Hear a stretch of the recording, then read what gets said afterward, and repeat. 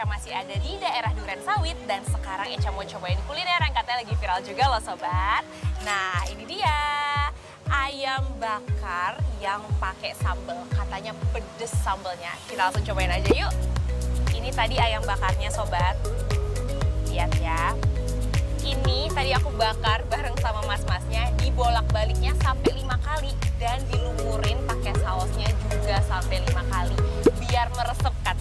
Kita langsung cobain aja ya. Wow, ini dagingnya benar-benar langsung lembek banget loh. Kita cocok ke sambalnya.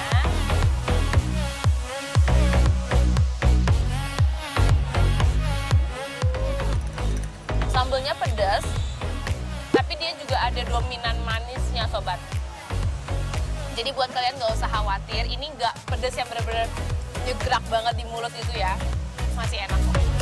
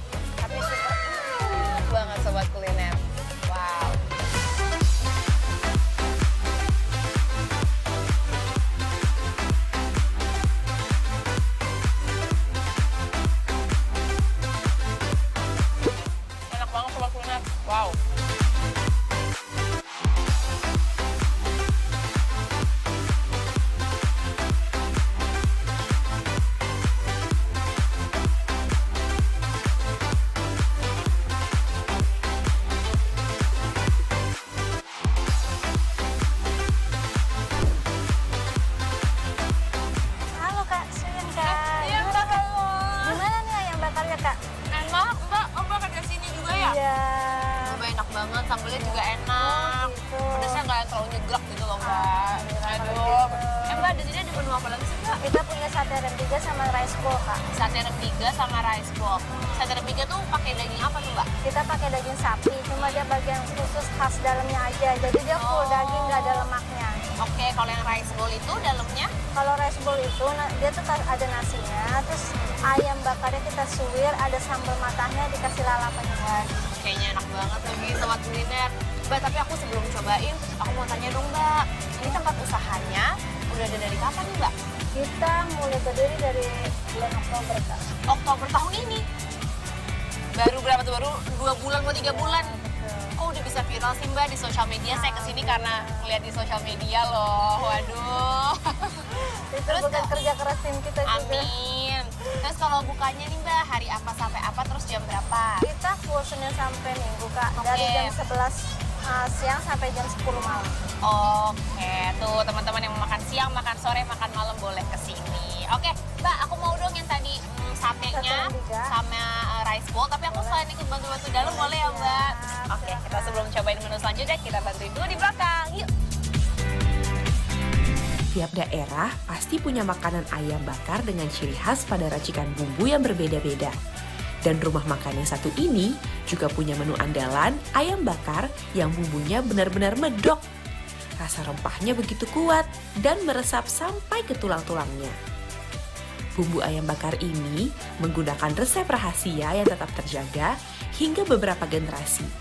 Yang pasti, selain kunyit, bawang merah dan bawang putih, ada bumbu rempah lainnya yang membuat rasa ayam ini benar-benar lezat.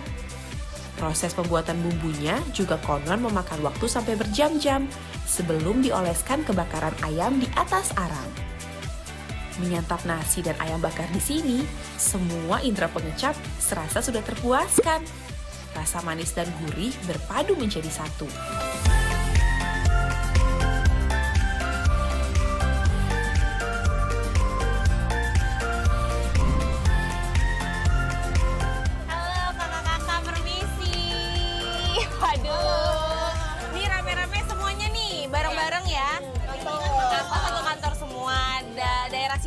Berarti kantornya. Ini kakaknya pada pesan apa nih enak-enak banget.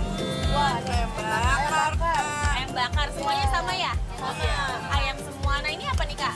Kangkung. Oh, kangkung. Buat cemilan ini tadi. Oh, oh nyemilinnya kangkung luar biasa ya. Sehat banget kakaknya. Nih nasi ayamnya deh atau menu-menu lain yang udah pernah kakak-kakak pesen di sini nih. 1 sampai 10 Kak nilainya berapa coba? 10 berarti emang layak viral ya, bukan cuma karena di sosmed doang ya. Saksikan kuliner viral hanya di Net TV. Terima kasih banyak, silakan dilanjutkan makannya aku permisi ya. Thank you.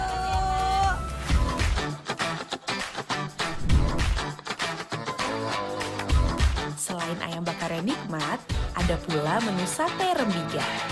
Sate khas Lombok yang terbuat dari daging sapi ini dipadu dengan bumbu rempah-rempah yang khas dan perpaduan rempah ini menghasilkan aneka cita rasa yang bikin kita nggak mau berhenti makan.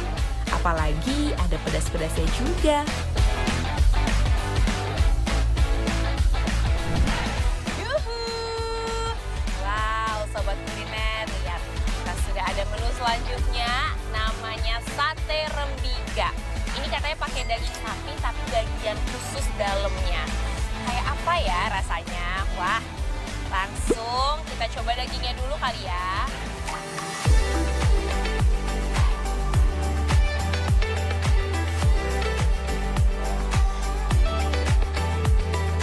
Ternyata kalau daging sapi bagian dalam itu dia lebih kenyal.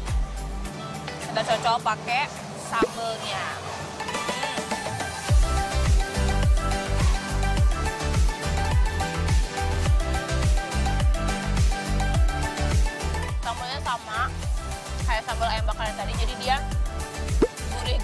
Gurih-gurih, pedas,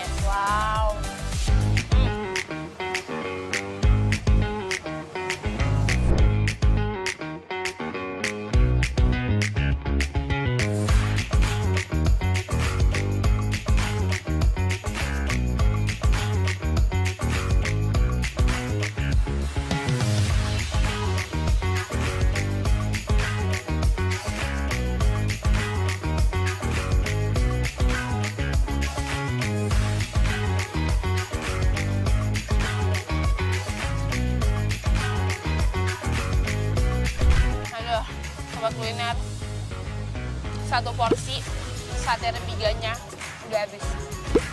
Enak banget kayak viral pokoknya. Yuhu!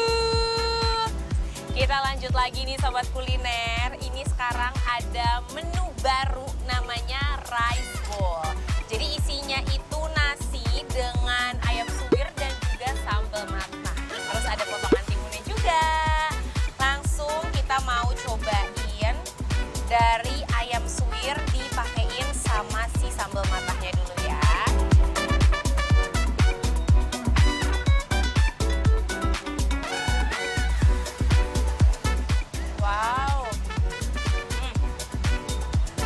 berasa banget bawang-bawang si sambal matahnya. Ayam suwirnya sendiri itu dia tipenya yang empuk, lebih dominan ke manis sih. Sama ada asin-asinnya sedikit. Pedesnya itu benar-benar dari si sambal matahnya aja. Jadi ayamnya sendiri nggak ada rasa pedesnya sama sekali. Enak.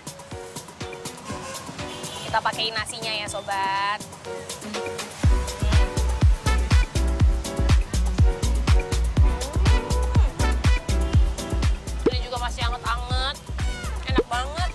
Wow.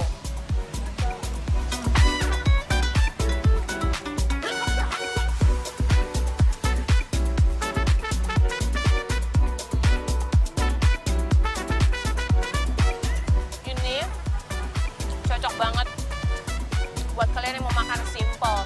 Gak perlu ribet pakai tangan, udah ada nasi, langsung pakai ayam, pakai sambelnya. Jadi Desi Rice Bowl ini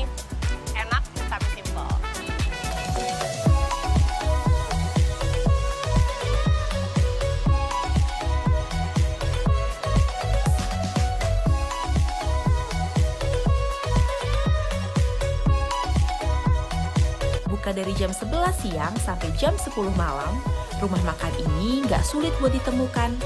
Lokasinya berada di pinggir jalan dan nggak perlu khawatir buat yang bawa kendaraan karena area parkirannya lumayan luas.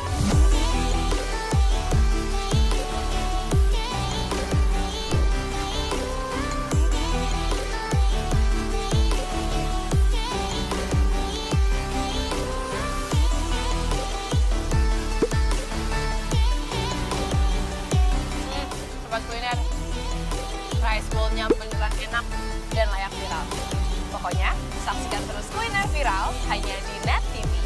Kuliner viral, cuma di sini kuliner layak viral.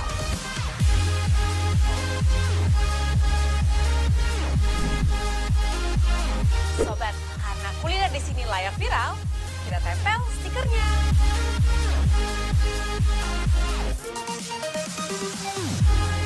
Nah, stiker sudah tertempel sobat. Artinya kuliner di sini enak dan layak viral. Jangan lupa saksikan terus kuliner viral hanya di Net TV. Kuliner viral, coba di sini kuliner layak viral.